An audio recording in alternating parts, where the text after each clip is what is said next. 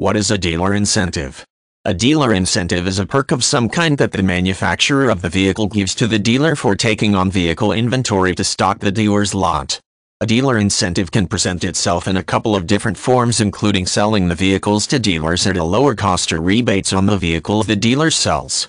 One of the most popular dealer incentive is when the manufacturer sells the dealer the vehicles for a price that is less expensive than the true cost to the dealer.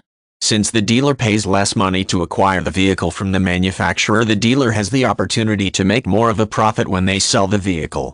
In some cases the manufacturer only offers a dealer incentive if and when specific sales goals are met.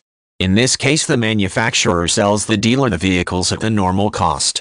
If and when the dealer meets the sales goal that the manufacturer has set then they will rebate the money back to the dealer as part of the dealer incentive. Some of the dealer incentive packages are also tiered. This means that the sales goals for the rebates that are set by the manufacturer have different levels. As the dealer reaches the selling point of these different levels the rebates from the manufacturer increase at each tier as well. It is a manufacturer's way of building competition between dealers and to sell vehicles that may be slow movers on a normal basis. While a dealer incentive is a treat for the dealer it can be a motivating factor for the dealer to help a customer as well. For example if the dealer incentive is based on the amount of vehicles that the dealer sells they may work out a lower price on the vehicle to sell more of those vehicles rather than lose the sales altogether. Typically the dealer will only go as low on the price as they can to sell the car and at least have the dealer incentive make up for what they lost on the individual sale.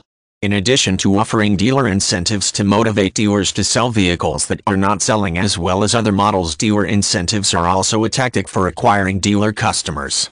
For example a manufacturer may provide an incentive for the dealer to take on additional inventory that the dealer would not normally take on to help the manufacturer move the vehicles and provide an incentive to the dealers for keeping these additional vehicles in inventory.